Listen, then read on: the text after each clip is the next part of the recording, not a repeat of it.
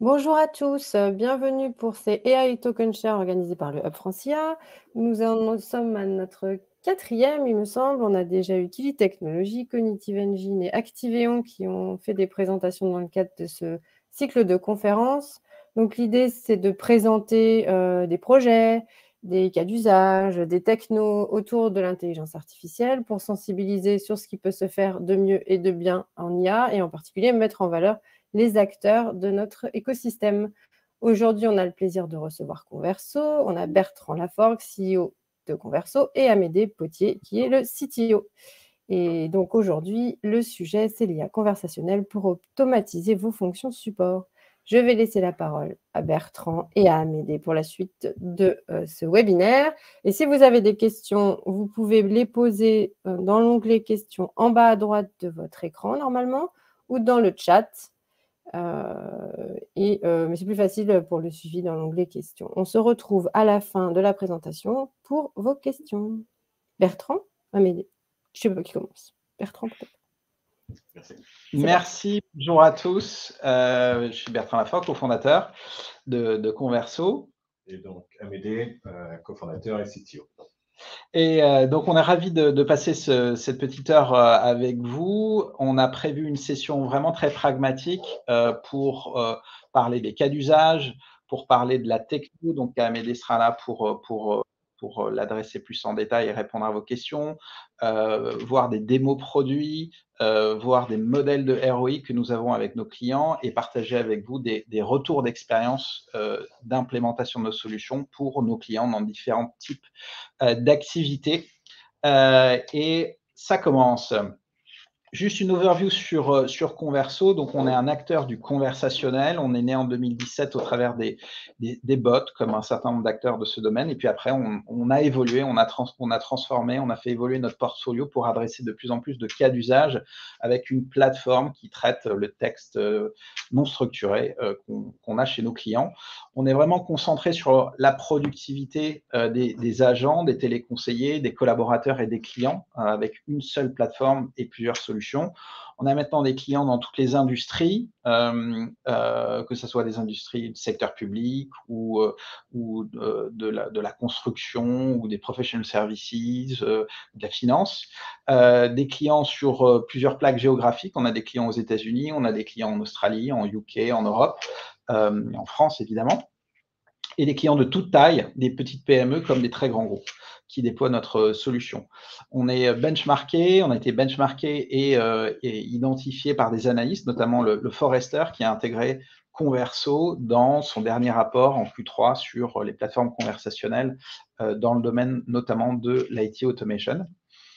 Et puis, on a une plateforme euh, avec euh, beaucoup d'IA, euh, mais qui est aussi là avec beaucoup de connecteurs pour pouvoir se connecter de manière plug and play euh, aux plateformes cloud en général que nos clients ont déjà mis en place, euh, soit au travers du Microsoft, euh, comme Office 365, comme Azure, ou Google, ou ServiceNow, Atlassian, bref, tout un tas de services cloud euh, dans les domaines du ticketing, dans le domaine du CRM, dans le domaine du digital workplace auquel on va se connecter.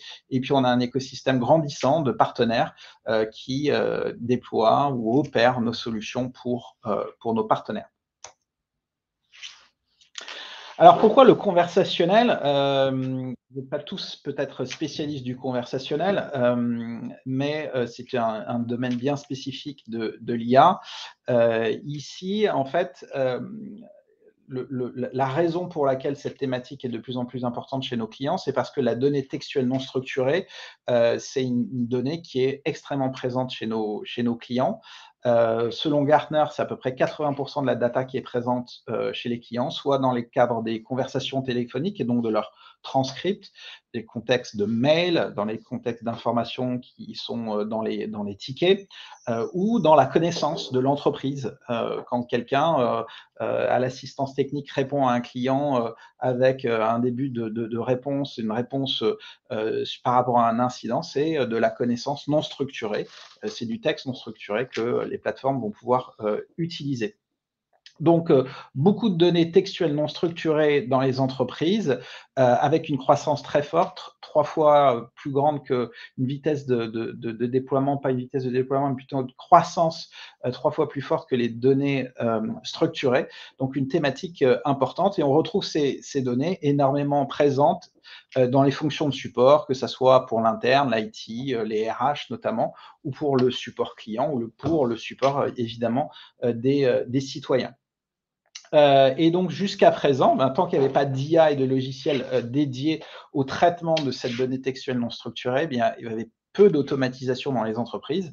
Et maintenant que ces plateformes conversationnelles euh, arrivent, eh bien, les entreprises peuvent avoir des, gains qui vont être la déflexion, réduire le nombre d'appels auprès, de leur, auprès de leur centre d'appel réduire le nombre de, tickets à gérer par, euh, un téléconseiller, augmenter la satisfaction ou le net promoter score des usagers, qu'ils soient citoyens, clients ou utilisateurs ou employés de l'entreprise, et accélérer les temps de traitement des, incidents et des demandes de, de ces clients. Euh, notre approche a été, dans le cadre du développement de notre plateforme, euh, d'assembler les technologies qui nous permettent d'assembler des cas d'usage et qui sont regroupés sous forme de solutions prêtes à l'emploi que les clients vont pouvoir euh, consommer dans le cadre d'une plateforme. Et donc le cas d'usage, c'est évidemment le, nerf de la guerre quand on discute avec des clients qui, euh, ont, besoin de, cas qui puissent être facilement euh, activables au travers d'une plateforme. Euh, donc que ça soit l'agent virtuel, comme je le disais, nous sommes nés en 2017 dans la vague des bots. Ce sont devenus maintenant des solutions beaucoup plus intelligentes, beaucoup plus connectées, proactives, personnalisées. et donc, les analystes appellent ça des agents virtuels intelligents. on déploie des agents virtuels en 19 langues sur 5 services desk pour des clients au niveau mondial, très intégrés dans le système d'information de nos clients, très sécurisés. On déploie aussi des solutions et des cas d'usage d'agents augmentés euh, qui sont là pour euh, augmenter la, performance, la productivité euh, du téléconseiller. Donc, l'utilisateur, le client interagit avec, avec un agent virtuel. il va y avoir un transfert pour des sujets complexes et quand ce transfert est, effectué, eh bien, la solution vient augmenter le téléconseiller. Peut y avoir des solutions de mailbot, évidemment. Euh, le mail représente dans certaines organisations euh, une partie euh, importante, donc il faut savoir répondre ou router.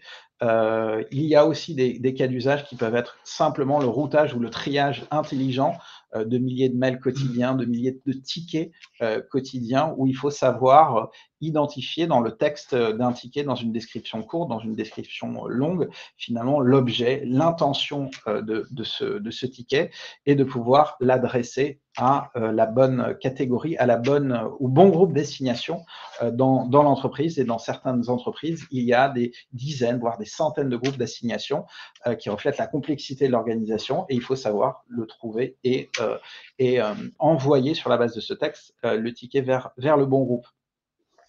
Il y a aussi des solutions et des cas d'usage autour de la communication employée qui est en train d'évoluer de, complètement puisque l'ensemble des employés sont, sont, noyés sous des, sous, des, sous des centaines de mails quotidiens. et donc, les clients sont à la recherche de plateformes qui sont capables de faire de l'outbound vers les utilisateurs, de les guider sur des thématiques bien précises. La plateforme est là aussi euh, grâce à ses fonctionnalités pour faire de l'analyse du sentiment, du speech analytique, euh, en complément de fonctions de type callbot où les clients vont venir augmenter, moderniser leur euh, système vocal interactif qui deviennent plus, plus performants, plus intuitifs, plus naturels dans la conversation avec les utilisateurs et pour encore une fois maximiser euh, la déflexion et ne router vers les agents humains que euh, les appels à valeur ajoutée ou euh, étant évidemment la plage horaire d'intervention du, du call center. Alors, on va faire quelques démos essentiellement axées sur l'expérience utilisateur et ces démos vont venir refléter un certain nombre de cas d'usage que j'ai évoqués tout à l'heure. Alors, on va parler de l'agent augmenté en mode, en mode chat. évidemment, un, agent, un téléconseiller, il a finalement plusieurs canaux d'interaction qui permettent à ses clients d'interagir avec lui. Le mode téléphonique, on ne pouvait pas avoir le son dans, dans cet environnement, donc j'ai pris le canal chat où, en fait un agent communique en chat avec un, client final et va être assisté par l'agent virtuel. Mais évidemment, la solution fonctionne dans les deux modes. Donc euh, ici, euh, l'enjeu, on fait face à, des entreprises qui ont, euh, un, fort, qui, ont un fort taux de rotation de leurs effectifs, un fort turnover de leurs effectifs de téléconseillers. Le recrutement de nouveaux téléconseillers est challenging et sur le marché, les gens ont des compétences, on va dire, plus faibles que ce qu'ils pouvaient avoir auparavant. Donc, il y a une véritable guerre des talents qui rend compliqué le recrutement de téléconseillers. Et par ailleurs, en fait, ce qui est demandé aux, aux téléconseillers, son périmètre d'intervention augmente chaque année. Et donc, c'est le, challenge auquel font face nos clients. Donc là, on a, on a un environnement euh, typique de, de, de, téléconseiller. Hein. ça peut être une solution de ticketing, une solution de, CRM, euh, Agent Workplace, euh, dans lequel l'agent assisté va être, va être disponible.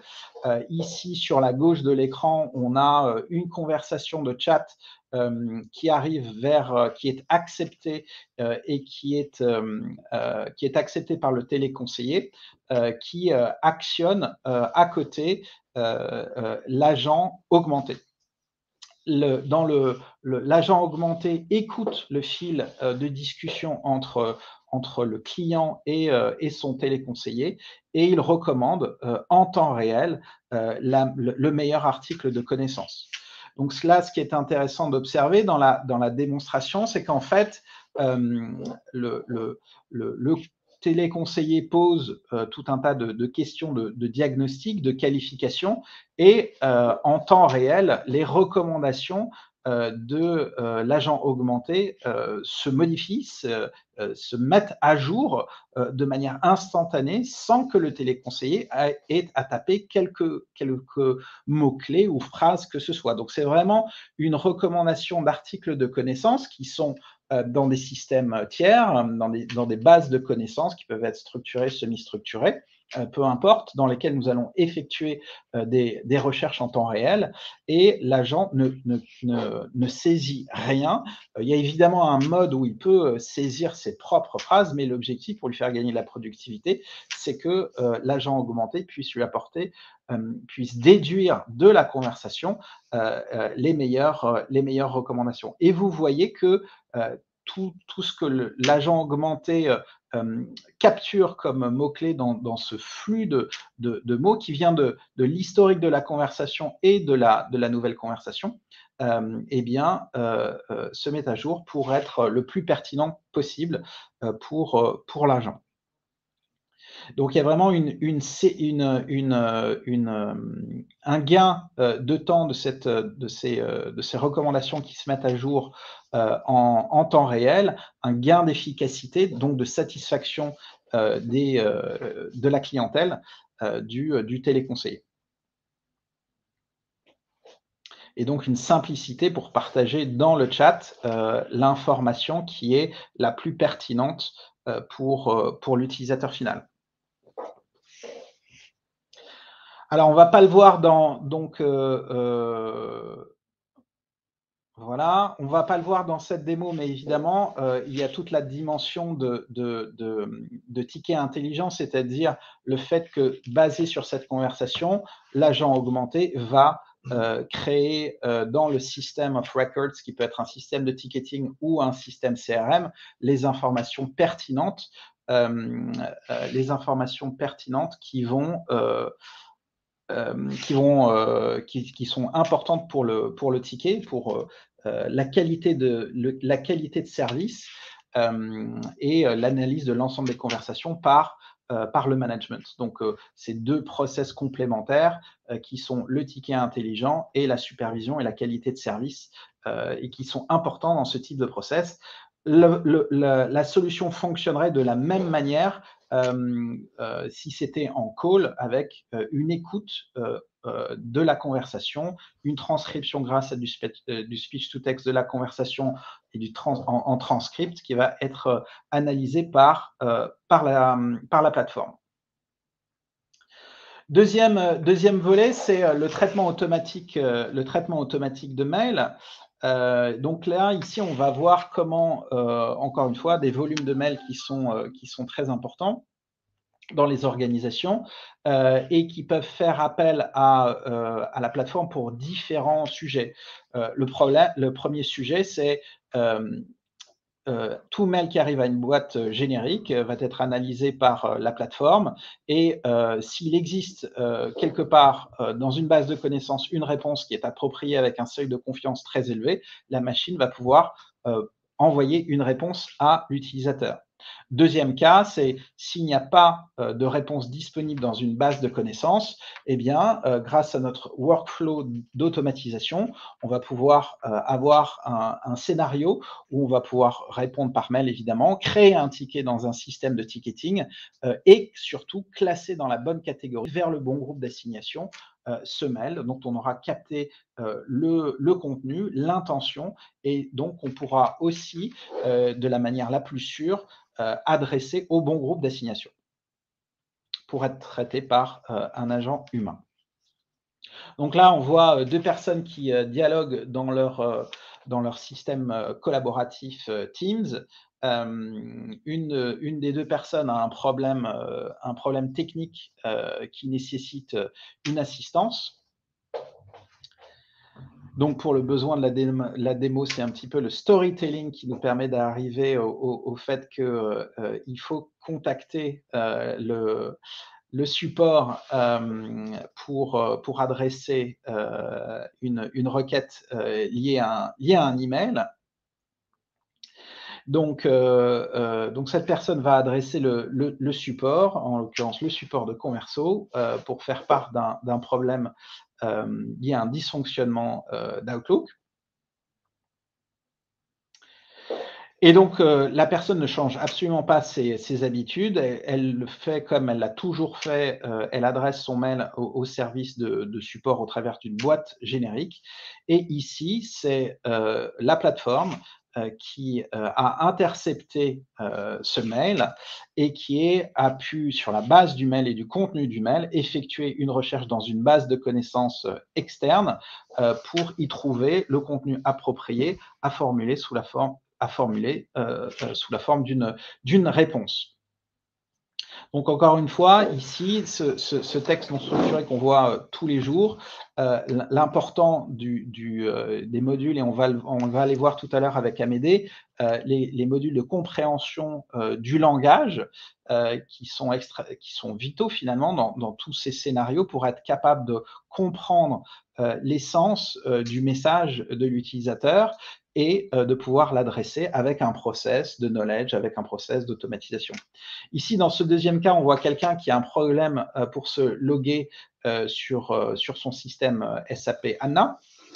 Et en l'occurrence, la machine a identifié qu'il n'y avait aucun, aucun article de connaissance qui pouvait répondre et assister cette personne. Et donc, avec notre engine de, workflow, eh bien, la, la plateforme a à la fois créé un ticket, mais elle a aussi assigné ce ticket euh, au bon groupe de résolution. Donc, dans certaines entreprises, comme je l'indiquais en, en, introduction, il peut y avoir 80, euh, voire plus d'une centaine de groupes d'assignation. Et donc, quand on sait euh, classer et router un ticket vers le bon groupe, eh bien, on accélère les temps de traitement et les, les temps de traitement pour les utilisateurs. Et donc, on améliore la satisfaction globale des utilisateurs. Donc, vous voyez ici le ticket qui a été euh, créé dans un système transactionnel. Amélie, tu veux rajouter quelque chose? Euh, bah, non, parce que ce qui est important effectivement à voir ici, c'est que toutes les techniques d'IA et de NLP sont, combinées donc, pour atteindre des objectifs euh, business importants. et tout, est fait pour que le, corpus métier, votre corpus métier, toute votre ontologie puisse être insérée dans, notre plateforme. C'est ça qui fait que le bot va vraiment comprendre euh, finement ce qui se passe. Donc, on n'est pas, sur des euh, corpus standards, mais on est bien sur un corpus standard augmenté de votre, euh, votre connaissance métier. Mm. Et dans le, dernier euh, scénario de, démo que je vous propose ici, on va parler euh, d'un support proactif contextualisé.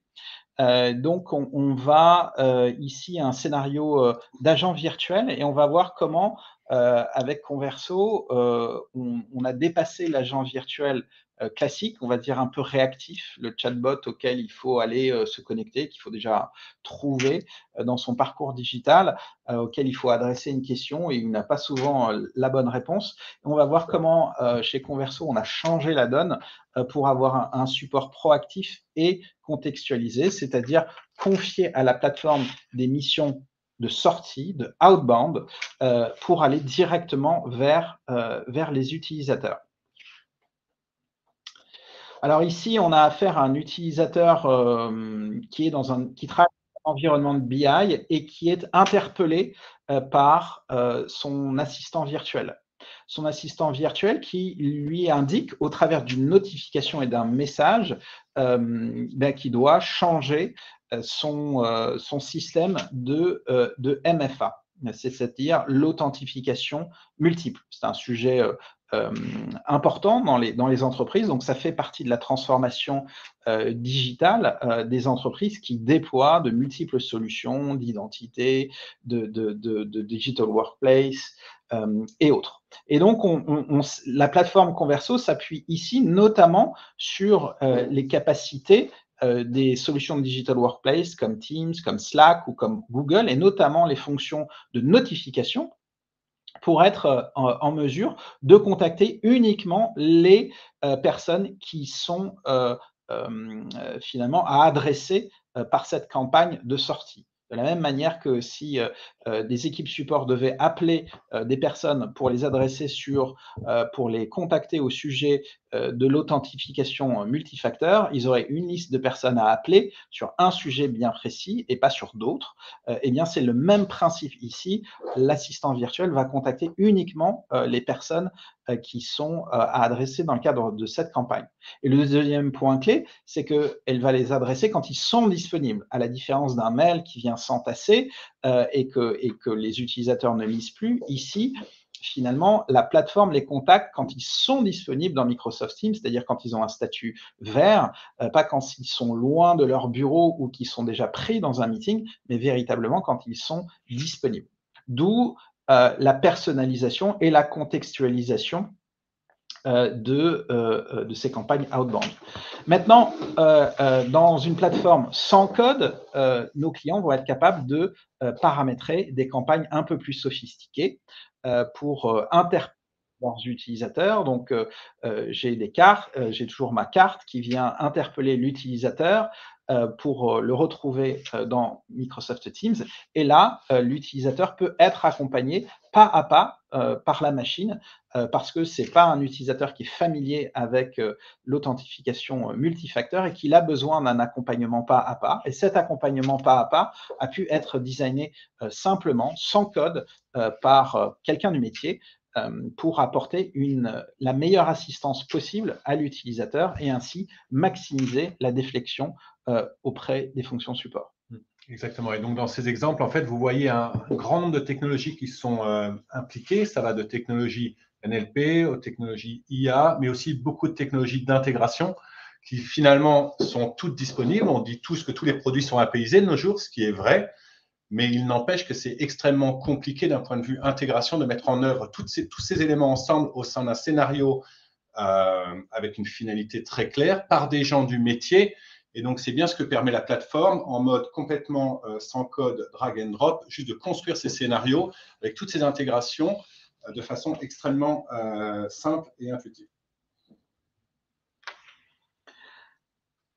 Alors, on va euh, maintenant un slide qui est euh, dédié finalement au, aux éléments technologiques qui sont présents dans la plateforme et que l'on combine, comme l'indiquait Amédée, pour proposer des cas d'usage et des solutions. Donc, on a le module, le module qui est très important, comme on l'a vu, c'est le module de compréhension du langage.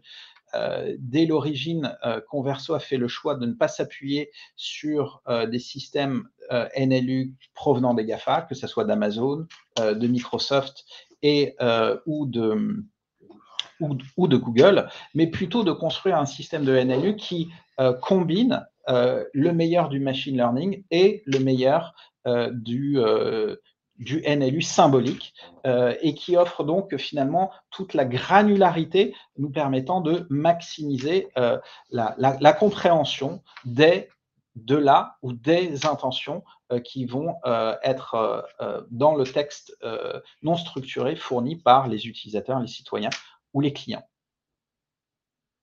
Tu veux rajouter quelque chose?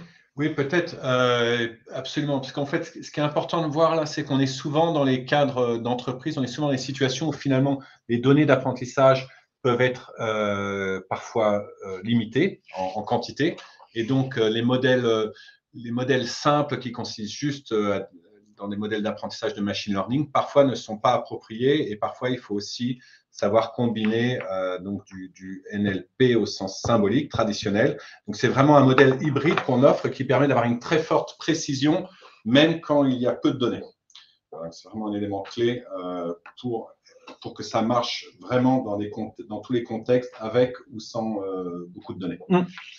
L'innovation qu'on a pu euh, apporter euh, au, NLU, c'est euh, le, NLU multilingue. Comme je l'ai indiqué, nous déployons des solutions pour des clients en 19 langues.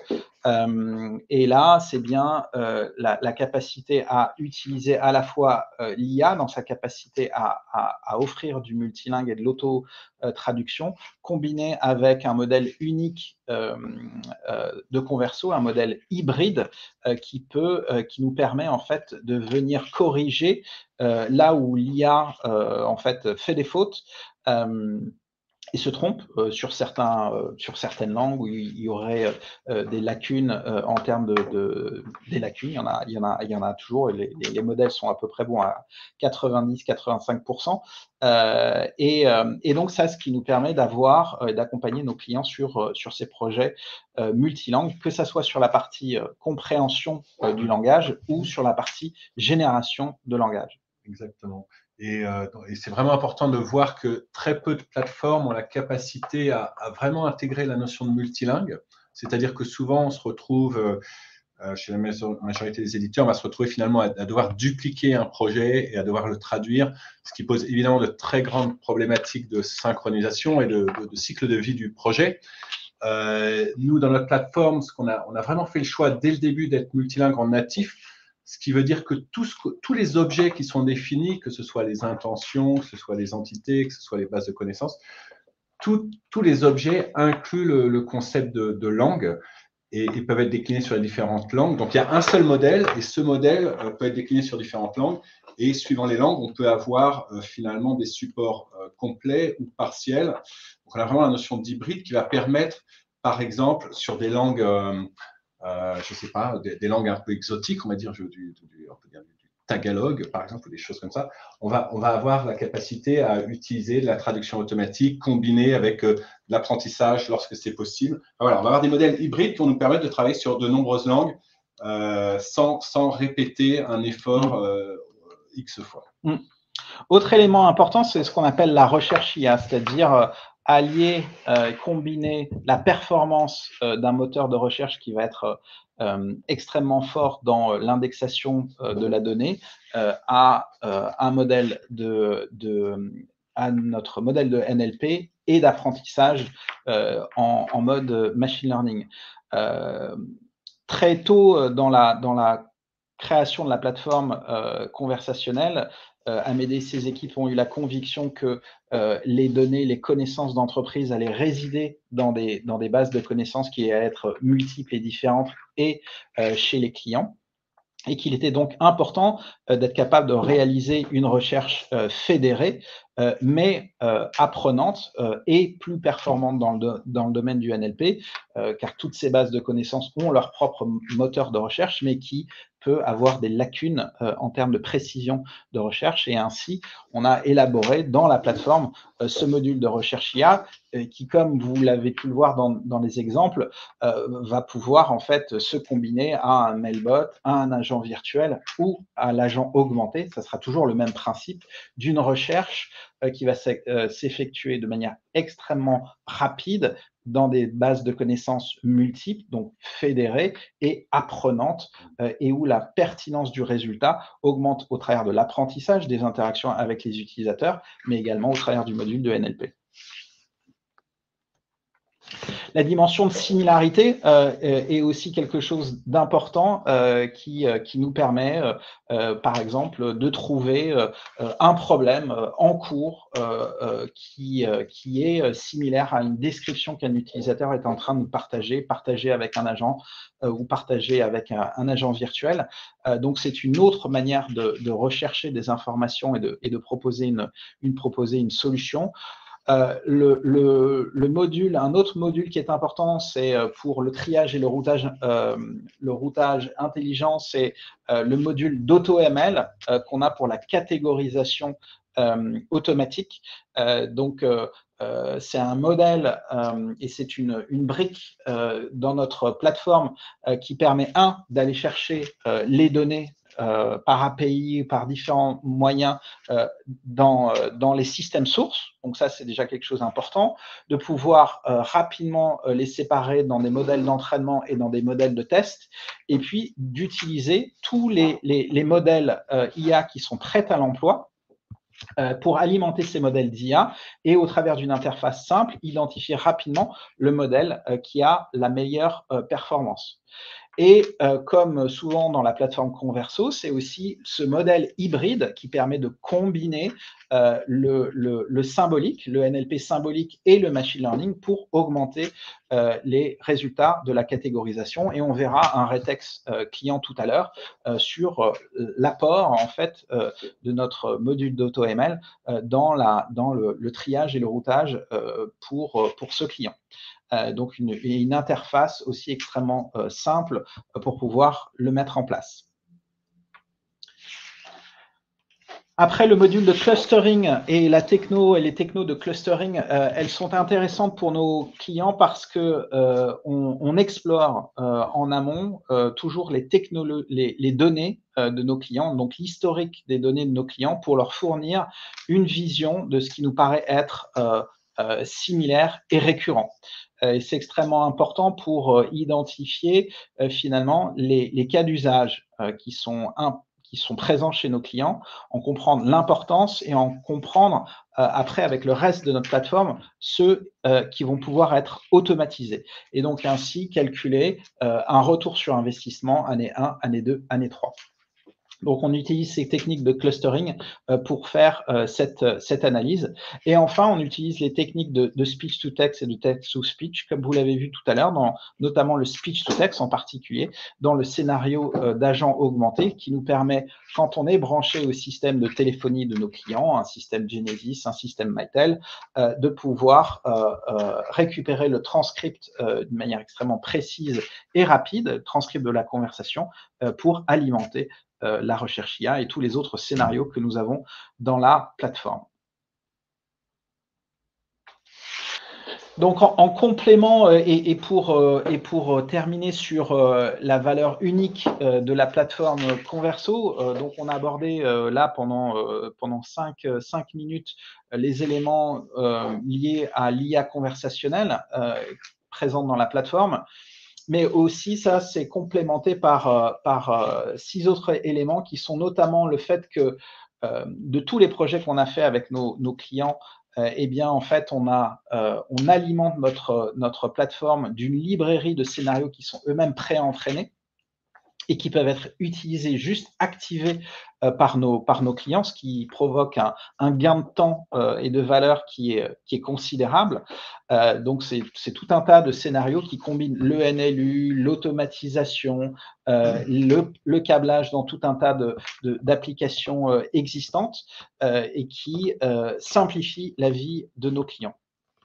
Le, deuxième élément, c'est les rapports d'analyse. On a énormément de rapports d'analyse extrêmement focalisés qui permettent à nos clients euh, euh, de piloter la performance. Et parce qu'ils sont prêts à l'emploi, ils peuvent les utiliser dès le premier jour pour comprendre euh, l'amélioration de la performance euh, des cas d'usage qu'ils mettent en œuvre dans la solution. Ils peuvent évidemment en ajouter, en construire, ils peuvent évidemment exporter euh, les datas vers leur propre module d'analytique, mais ils ont tout de suite à leur disposition tout un tas de dashboards pour mesurer cette, cette performance. C'est une plateforme qui est no-code quand les clients peuvent augmenter le nombre de scénarios euh, qu'ils ont. Donc, euh, on leur en livre plus d'une centaine, mais grâce à notre plateforme No Code, ils vont pouvoir les personnaliser et créer leur propre euh, scénario au regard de leur, on va dire, de leur processus métier et de la manière dont ils veulent se transformer. C'est un avantage très important parce que même s'il y a beaucoup de data science dans la plateforme Converso, au final, ce qu'on souhaite, c'est que cette plateforme soit à destination euh, des métiers euh, et, pas, et sans nécessiter euh, la présence de développeurs ou de data scientists pour mettre en œuvre ces scénarios. L'essentiel de la propriété intellectuelle et, des éléments d'IA et de machine learning qui sont dans la plateforme sont des technologies euh, Converso, ce qui nous permet de déployer, euh, notamment on-premise, euh, ces technologies. Donc, nous étions au Big Data IA Paris, au Palais des Congrès, en début de semaine, et nous étions avec le ministère de l'Intérieur, qui a déployé nos solutions, qui est en cours de déploiement de, notre plateforme sur un certain nombre de sujets on-premise, euh, euh, sans connexion Internet et branchés sur leur système d'information en toute, en toute sécurité. évidemment, beaucoup de déploiements cloud, avec des, déploiements cloud qui vont se faire aussi par client sans mutualisation des données. donc, on a des, des, déploiements sur la plaque australienne, en Angleterre au moment du Brexit, aux États-Unis, donc au plus près des, des, des data et des utilisateurs de nos, de nos clients. Enfin, je voudrais euh, parler du modèle économique, puisque c'est un modèle euh, qui, est lié, euh, qui est lié à l'usage, et c'est ce qui permet à nos clients de démarrer petit et de se développer progressivement en fonction de l'adoption de, des, cas d'usage qui sont proposés à, à, leurs utilisateurs, de grandir, et donc avec une manière assez prédictible et surtout un ROI le plus rapide possible grâce à ce modèle économique. Et donc, ce qui me permet de, passer un peu de temps sur euh, deux modèles de, ROI. Euh, le premier, c'est celui euh, qui est lié à, l'agent augmenté. Hein. on, a vu que l'agent augmenté, il y avait tout un tas de bénéfices qui pouvaient être liés à, à l'usage d'une plateforme qui va accompagner l'agent, le management pour mieux servir les clients on est selon les industries euh, dans, des, temps d'appel qui vont, euh, qui vont varier. Ici, j'ai pris l'exemple euh, d'un client avec 1000 positions qui a 7 millions d'interactions annuelles et, chaque appel dure environ 10 minutes. Donc, ce n'est pas des petits appels, c'est qu'il y, y a, pas mal de choses à résoudre et des choses plus ou moins complexes à résoudre pendant chacun de ces appels. Et donc, ça veut dire qu'il y a un de la, de la qualification, deux de l'accompagnement à la résolution et euh, trois euh, des éléments qui sont liés à la saisie à la qualité, euh, de, à la qualité de service. et donc des éléments qu'il va falloir renseigner dans un, dans un ticket. Donc, si, si sur chaque téléconseiller, il y a euh, un gain entre 3 et 7 sur chaque, sur chaque interaction, eh bien, ça va générer euh, pour cette entreprise euh, un gain qui va être considérable puisqu'il est entre, suivant les scénarios, entre 800 000 et 1,7 million de dollars. Ici, ce sont des dollars qui sont, qui sont indiqués. Le deuxième, c'est sur le, le, le ROI de l'agent virtuel. Euh, donc là, on a des métriques qui sont, euh, qui sont différentes. Là, on parle de l'impact euh, d'agents virtuels sur les utilisateurs finaux. Donc, réduire le nombre, on n'est pas sur la productivité des agents, mais plutôt sur la réduction du nombre de tickets vers un, centre de, un centre de contact. Donc, ça pourrait être via un callbot, et là, euh, là c'est euh, via un agent virtuel. Euh, Ici, en fait, on est dans le, dans le cadre d'un support IT. Je prends cet exemple parce qu'évidemment, on, a fait beaucoup de, beaucoup de dossiers euh, et on a beaucoup de déploiements chez nos clients sur du, sur du support IT. Euh, grosso modo, le support IT, pour 10 000 collaborateurs, ça coûte à peu près 1,2 million d'euros de support de niveau 1. Et euh, de manière assez récurrente, on peut observer, selon les, les datas des clients, que euh, finalement, euh, ce qui va pouvoir être euh, optimisé et, traité directement par une machine, c'est à peu près 40% des interactions qui vont avoir suffisamment de récurrence et aussi de, d'assets digitaux pouvant être utilisés par l'assistant virtuel pour débloquer l'utilisateur. Et donc, en fait, le ROI va être fonction de ce pourcentage euh, des, volumes qui vont pouvoir être automatisés euh, par, euh, par l'agent virtuel et également du taux d'adoption de, la, de la plateforme qui va varier suivant les cultures d'entreprise, suivant aussi les organisations, leur contexte et leur culture et les efforts qu'ils vont mettre dans le, dans le change management.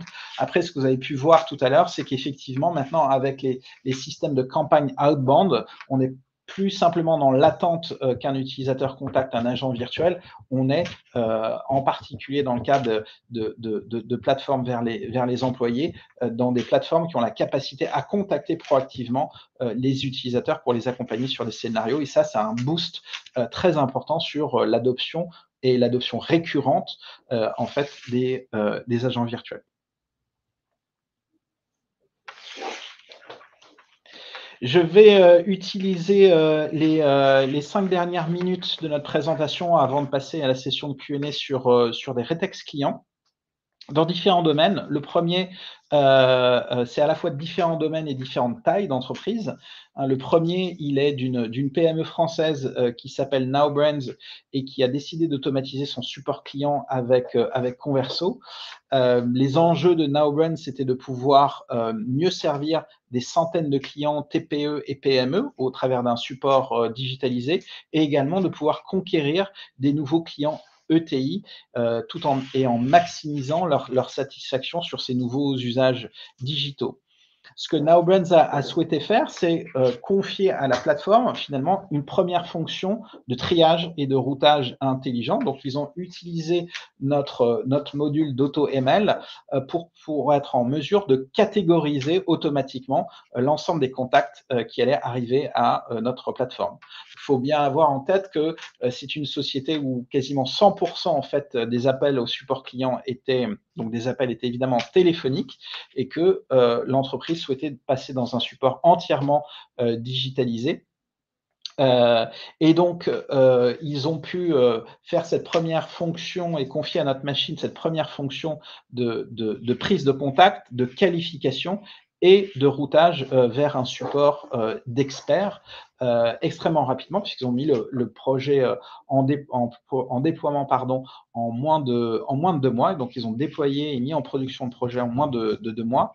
Et aux fonctions de triage et de routage intelligent, ils ont ajouté notre, notre moteur de NLP en français avec une interface conversationnelle qui était présente sur un portail euh, externe client qui, qui authentifiait notamment les, les utilisateurs. Alors, ce qui est intéressant, c'est que euh, on était euh, dans un cadre où il y avait énormément de groupes de résolution, hein, plus de 80. On voit souvent, en fait, euh, dans la littérature, des, solutions du marché qui, euh, qui catégorisent euh, avec un beau taux de résolution autour de 85-90% pour 20 groupes de résolution. Ici, l'enjeu était de pouvoir atteindre ces niveaux de, de précision sur 80 groupes de résolution qui étaient séparés d'abord sur des demandes et des incidents, et puis après sur des types et des sous-types. Donc, plus de 80 groupes de résolution euh, au total. Euh, ils en sont extrêmement satisfaits. Ils ont déjà communiqué. On, a, on est déjà passé d'ailleurs au Hub Francia avec, euh, avec Now Brands, puisqu'ils ont à peu près 75% de taux d'adoption par leurs clients existants. Donc, leur plateforme téléphonique est quasiment vide maintenant. et ils ont également coupé le mail afin que l'ensemble du flux puisse passer par, par, par, la plateforme et qui maintenant va intégrer la résolution automatique, c'est qu'après la qualification on passe à la résolution automatique en direct avec l'utilisateur et dans le futur avec les fonctions d'Agent Assist auprès des, téléconseillers euh, de NowBrain. Le deuxième, euh, le deuxième rétexte que je voulais partager avec vous, c'est là euh, une, une, entreprise, euh, l'entreprise Pôle Emploi qui automatise, elle, son support IT avec, avec Converso. Donc, on est extrêmement content d'être associé à, la, à, la, mission de Pôle Emploi qui, qui favorise la réinsertion des, des, gens sur le marché du travail et qui aide les entreprises à, à recruter. en 2020, donc, euh, en plein Covid, euh, Pôle emploi est venu nous, chercher. Ils avaient plusieurs expériences euh, infructueuses avec des agents virtuels pour essayer d'automatiser leur, leur support IT. et ils souhaitaient mettre en place évidemment une solution extrêmement industrielle et robuste pour servir euh, près de 60 000 collaborateurs euh, sur l'ensemble du groupe, qui sont répartis sur 1200 euh, sites, et pour essayer d'obtenir un bon taux de déflexion sur les 190 000 appels annuels qu'ils reçoivent auprès de leur service desk interne. Ils ont donc utilisé notre système de clustering déjà pour se bien euh, travailler sur pourquoi faire ce projet et euh, quelle est la valeur qu'il peut euh, générer pour nous. Donc, on leur a donné une vision complémentaire en fait des cas d'usage qui allaient pouvoir être automatisés au travers de la plateforme, qu'ils ont pu comparer avec la vision qu'ils en avaient et, des datas qu'ils pouvaient avoir au travers de, de, leur système de ticketing comme ServiceNow et, et d'autres systèmes de, de BI. Ils ont pu activer euh, les parcours conversationnels IT, donc les 100 scénarios dont je vous parlais, euh, ils ont pu activer un, certain nombre d'entre eux et de, et, de créer leurs propres scénarios euh, très rapidement avec leurs propres équipes, avec une forte intégration dans leur applicatif interne, à la fois côté système de ticketing, avec une forte intégration avec, avec ServiceNow, mais également avec une très forte intégration dans leur système de digital workplace, puisqu'ils ont pu déployer l'interface conversationnelle finalement en multicanal, à la fois sur du portail euh, d'entreprise et dans euh, Microsoft Teams. Et c'est notamment le déploiement dans Microsoft Teams qui a constitué un véritable boost en termes euh, d'adoption de la solution par les utilisateurs, parce qu'évidemment, quand on parle d'un bot en interne, ben, l'ensemble des employés passent un maximum de temps de nos jours dans Teams.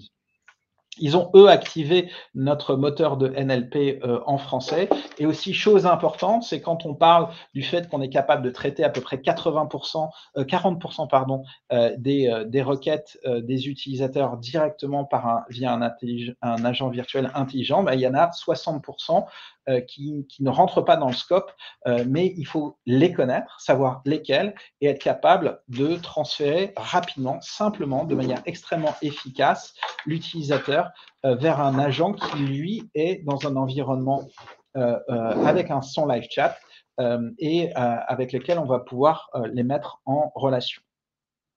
L'impact, c'était un, un, projet démarré mi-2020 et en production euh, février 2021 avec un ROI euh, positif. Hein. Ils ont communiqué d'ailleurs auprès d'une assemblée de, clients euh, également la, semaine dernière sur un ROI qui était positif et aussi avec un, un, Net Promoter Score de, plus, de plus 24. Et Virginie Laurent était la semaine dernière avec moi pour présenter ce tableau où on voit toutes les interconnexions de l'agent virtuel dans tout le système d'information de, de Pôle emploi. Donc, pas du tout une solution en silo, mais bien une solution qui est qui fait partie intégrante euh, du système de, euh, euh, de, service desk avec, voilà, en perspective, la possibilité d'augmenter leur service desk d'un callbot sur la même plateforme et, et, de mettre en place aussi d'autres fonctions de notre plateforme comme l'agent augmenté dans le futur. Enfin, je terminerai avec un autre cas euh, qui est euh, le groupe euh, Veolia et sa filiale anglaise, Veolia en, Angleterre et en Irlande, qui automatise son support RH avec Converso. Ici, on parle d'une entreprise, d'une entité de Veolia qui a à peu près 21 000 collaborateurs et qui souhaitait accélérer l'adoption de nouvelles solutions RH comme Workday et aussi réduire les efforts de support aux utilisateurs euh, euh, effectués par les, les, business partners RH euh, sur les sujets qui sont récurrents. Et donc, ils ont mis en place des parcours conversationnels, cette fois métier RH. ils ont pu intervenir sans nous hein, sur la mise en place de ces, de ces parcours Ils ont mis le moteur de, AI Search euh, en place de Converso qui va chercher dans de multiples bases de connaissances, qu'elles soient des bases ServiceNow, des bases Google, des bases locales, des bases externes. Euh, et donc euh, la capacité à faire cette recherche fédérée et remonter la réponse la plus pertinente. Ils ont actionné notre moteur de NLP en anglais et ils ont mis euh, cette interface conversationnelle dans un portail d'entreprise. Euh, et euh, il y a des enjeux de sécurité évidemment importants sur toutes les informations RH qui peuvent être partagées au travers de cet assistant virtuel. Et comme dans le cadre de, Pôle Emploi, il y a toujours la capacité à transférer de manière extrêmement productive vers, vers un agent. Veolia avait déjà mis en place un, notre plateforme euh, pour automatiser une partie de leur IT support. Euh, ils l'ont déployé euh, en complément sur la partie RH avec une équipe RH complètement autonome pour, pour déployer ces scénarios sur notre plateforme qu'ils ont réalisé en deux mois. Euh, à partir et ils sont live depuis euh, janvier 2021 et Lise euh, était aujourd'hui avec nous pour, pour travailler sur une, sur une success stories plus, plus, plus large à communiquer sur le marché. Donc on est, on est extrêmement content du, du partenariat que nous avons aussi, de cette collaboration que nous avons avec le groupe Veolia. Voilà, j'en ai, nous en avons fini. On, on, est là pour répondre à vos, à vos questions. Je crois qu'il y en a quelques-unes. Oui. Merci euh, Bertrand, merci beaucoup Amédée, euh, de, beaux cas d'usage et de belles success stories hein, pour conclure. Il y avait une question de Ali, traitez-vous exclusivement de l'écrit? Je crois que tu as répondu, mais si tu peux peut-être compléter. Tu veux répondre Amédée Oui, oui, absolument. Euh, oui, effectivement, c'est vrai qu'on s'est vraiment spécialisé sur la question du, du texte utilisateur, que ce soit en format phrase ou en format paragraphe ou des grands contenus, mais voilà, sur le texte, on s'est vraiment spécialisé sur cette question. D'où le conversationnel, plateforme conversationnelle.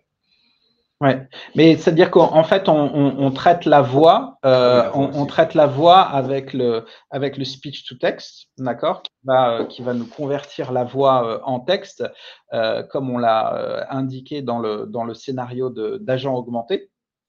Et, et, donc, euh, on, traite euh, ce, transcript euh, après par, par la suite. Merci à vous. Il y a Karel qui demande, je crois, mais j'arrive trop à fait à lire. Vous utilisez quel moteur STT C'est ça que tu as écrit, Karel? Oui, speech to text. Bah, c'est ça, hein, parce que... manque des lettres. Oui, oui, bah, c'est une bonne question. Effectivement, donc c'est même une question clé puisque la, question du moteur speech to text est finalement un peu une des dernières briques qui reste, euh, euh, comment dire, qui, qui, pas simple et qui, est actuellement dans les mains de, grands éditeurs. Donc, on a la capacité à s'interfacer avec euh, différents, différentes briques speech to text, des grands acteurs. on regarde en ce moment justement sur une série d'options pour pouvoir faire du on-prem sur, sur ce point. C'est le seul point, euh, il n'y a que sur la partie traduction et la partie euh, speech to text où finalement on a, on a une dépendance à des services cloud actuellement. Et donc justement, on regarde beaucoup ce qui se produit euh, sur la partie open source sur ces sujets pour, via des collaborations avec le monde de la recherche, avoir ces fonctions disponibles dans des environnements sécurisés sans hors réseau. Voilà, donc c'est pas. Mais voilà, on regarde, je sais que Karel connaît bien ces sujets-là et on est tout à fait. Euh, oui, il est en train de te vendre un partenariat là, j'ai l'impression. Oui. je crois qu'Ali est en train de taper aussi. Euh, en attendant qu'il finisse la question. Ah bah voilà. Euh, donc il dit pas de prise en compte de la prosodie dans l'analyse de sentiments. Euh, non, pour le moment, euh, non, effectivement, c'est vrai. Euh, on n'est pas encore sur ces sujets-là, tout à fait. Et c'est dans la roadmap? Bah, on comment, Oui, c'est-à-dire que tout ce qui est autour du tout ce qui est autour du, callbot et du texte, on a c'est des choses qu'on fait de plus en plus, effectivement, via le Agent Assist, des choses comme ça, mais on n'exploite pas encore tous les éléments dans, la prosodie. Euh, plus, on a de plus en plus de projets sur le sujet, donc oui, je pense que ça va arriver, mais euh, euh, sans doute en 2023. En fait, dans, quand on a travaillé avec nos clients, notamment sur la partie agent augmenté, la partie analyse de sentiments, speech analytique était un, besoin à, plus moyen terme, parce que générant, dans leur cas, hein, moins, de, moins, de, moins de ROI à, à court terme. Donc, ils étaient plus intéressés par notre capacité de recommandation et de, et de RPA, euh, ticket intelligent, euh, etc., etc. Euh, euh, ou, de synthèse de, conversation plutôt que, que d'analyse de sentiments. Mais c'était par rapport aux, clients avec lesquels on a travaillé. Et du coup, il y a Christophe qui demande si, en dehors du recours à la prosodie, est-il possible de détecter des émotions dans le texte? J'imagine question, le faites-vous Oui, c'est pas un axe euh, majeur pour, pour nous, ces questions-là. Nous, on cherche vraiment à comprendre euh, principalement l'intention, les sujets. On est beaucoup sur les problématiques de, de, de, de rechercher donc la, la, réponse la plus pertinente face à une question. On est, on est moins sur ces problématiques actuellement. Donc, on a, on a les outils pour le faire, mais ce n'est pas, pas notre focus principal d'un point de vue recherche. Ok, super. J'avais une question, moi, plus sur la partie euh, no code, parce que c'est vrai que euh, c'est d'actualité et on en voit partout. Est-ce que vous voyez quand même aujourd'hui des limitations dans l'usage de la plateforme malgré la mise en place de ce no code? Et si oui, euh, où? Oui, absolument, tout à fait. En fait, on a, on est, en fait, on a pour tout dire, on a commencé avec code, c'est-à-dire qu'on avait la capacité à insérer des bouts de, de script Python pour euh, automatiser certaines chaînes de, la, pipeline, du processing, des workflows, des choses comme ça. Ensuite, on est basculé vers le no-code, donc euh, tout en mode drag and drop avec nos composants, on, définit tous les workflows qu'on veut. Mais en fait, on a toujours conservé la capacité à intégrer donc des bouts de script avec full capabilities, des, bouts de script Python dans notre produit. Donc, dans les, workflows qui sont en mode drag and drop, etc., je peux insérer une fonction Python euh, je peux insérer une pipeline de traitement, euh, que ce soit NLP, ML ou des API externes, tout ce qu'on veut, euh, donc en mode script Python. Donc en fait, c'est complètement ouvert. Tout, ce que vous pouvez faire en Python, vous pouvez le faire. Et, même pour certains développeurs avancés, certains vont dire, bah, en fait, moi, je vais plus vite à faire mon petit bout de script quand, quand, faire mon workflow en mode dans le drag and drop. Et dans ce cas-là, quand vous êtes avec des gens du métier qui ne sont pas forcément à l'aise avec le Python, c'est vous qui les accompagnez dans, dans, la réalisation des briques qui pourraient leur manquer? Exactement. Si jamais il y a des clients qui, qui arrivent et qui disent, ben, en fait, euh, voilà, moi j'arrive à faire tout ça, mais il y a un moment là, il faut que j'interagisse avec telle API. Euh, et donc, on peut évidemment faire des API, euh, des appels d'API donc en mode no code, mais parfois, je ne sais pas s'il faut faire une boucle avec des appels récursifs, des choses un peu compliquées le faire en mode euh, bloc graphique, ça peut être un peu pénible. Donc, dans ces cas-là, on va leur dire bah, très bien, on, te rajoute un petit, bout, un petit bout de script qui fait la fonction dont tu as besoin. Nous, on va faire nos, nos, 15-20 lignes, je ne sais pas quoi, de, Python. On va lui mettre ça. Et puis voilà, après, il continue avec sa partie euh, no code, en fait. Effectivement, exactement. Ok, super. Je ne sais pas s'il y a d'autres questions euh, dans le public. Moi, j'en avais une dernière. C'est plutôt sur la partie scénario. Donc, vous avez dit que vous avez plus d'une centaine de scénarios pré-entraînés. J'imagine que c'est des scénarios, euh, à force d'utiliser la plateforme, vous avez identifié un peu des patterns qui reviennent souvent chez, chez les clients. Mmh. Euh, est-ce que ça vous a débloqué euh, bah, du business ou d'un point de vue technique? Est-ce que ça a facilité la, la prise en charge, de, enfin la prise en main de la plateforme de façon considérable? Est-ce que c'est aujourd'hui une vraie valeur ajoutée? Par rapport au no-code, par exemple, un vrai différenciant? Euh, C'est sans scénario, ouais, c'est clairement, euh, en fait l'évolution du marché qui a eu du, démarrage qui était vraiment des plateformes horizontales euh, euh, où il fallait tout construire à des plateformes qui incluent des choses qui sont prêtes à l'emploi et des scénarios qui, un peu plus, on va dire, orientés métier. Qui sont et qui sont prêtes à l'emploi et, et, tout ça s'était confirmé notamment par les par les analyses du Forester, j'ai parlé de, cette, de, ce rapport dans lequel on est présent. Et, et pour le, Forester, euh, le, le, trend majeur, euh, c'est euh, ces scénarios qui sont déjà prêts à l'emploi et que les clients peuvent rapidement activer. Donc, c'est une, une dimension importante de la valeur à proposer aux clients. Ok, super. Bah, C'était la dernière question que j'avais. Je crois que ma caméra remarche, c'est bon? Ah ouais, je vois. Tout à l'heure, je suis là. Euh, je parle comme si j'étais euh, caché derrière un rideau. Le... Donc, s'il n'y a plus de questions dans la salle, je pense qu'on est... on peut s'arrêter là. Est-ce que vous avez un dernier mot, euh, Bertrand et Amédée C'est la question non, bah, écoutez, en tout cas, euh, merci à tous ceux qui étaient, euh, merci à tous ceux qui étaient là. C'est toujours un grand plaisir de pouvoir euh, échanger avec avec d'autres experts de cette de cette industrie. On a vu des gens de, de, de, Zion qui étaient là et merci pour vos questions et, et puis aussi Karel. Donc donc tout ça nous, nous, permet de, de, nous développer ensemble et et et, et c'est une c'est une très bonne chose. Donc on est toujours ouvert à, à partager tout ce qu'on fait et puis d'apprendre des autres euh, également. En tout cas, merci pour cette présentation très riche et très claire. Donc pour les présents et les inscrits qui ne m'entendent pas, euh, on enverra cette vidéo à tout le monde en replay.